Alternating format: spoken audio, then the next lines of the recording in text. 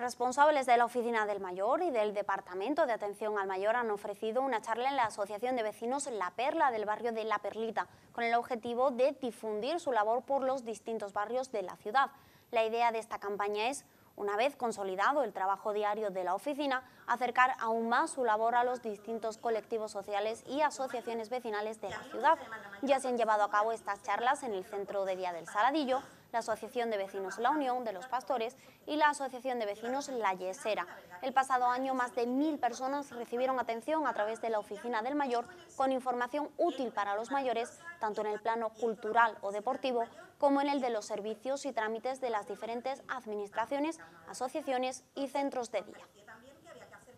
no trasladar esa información a las asociaciones de vecinos, porque es verdad que hay mm, pues, algún ciudadano que por las circunstancias que sean no se puede personar in situ a la oficina nuestra y entonces queremos tener esa cercanía y además eh, de la mano de los presidentes de las asociaciones de vecinos que al final son quienes conocen a sus vecinos, los que saben de sus necesidades y los que siempre pues, colaboran con nosotros.